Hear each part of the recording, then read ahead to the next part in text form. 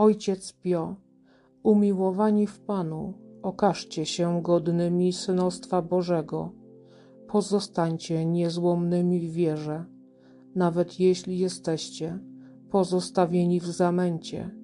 Ja również pozostałem niezłomny i modlę się za Was przed tronem Boga, aby Pan udzielił Wam wytrwałość wierze. Kochajcie Pana i Najświętszą Maryję Pannę, bo bez miłości nie będziecie w stanie pozostać niezłomnymi. Módlcie się do świętego Michała Archanioła. Proście o miłosierdzie i współczucie i padnijcie na kolana przed Waszym Bogiem. Zamęt będzie wielki, ale pamiętajcie, że święci w niebie modlą się za Was.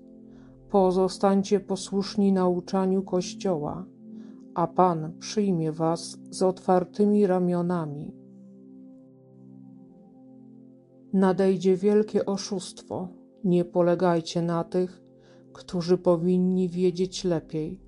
Polegajcie na Piśmie Świętym i na Waszych ojcach wiary Kościoła.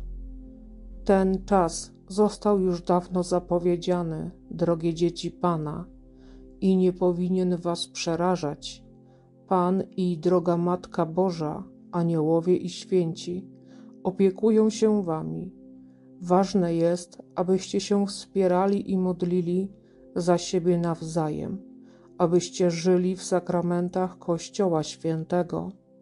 Czekam na Was we wszystkich konfesjonałach świata.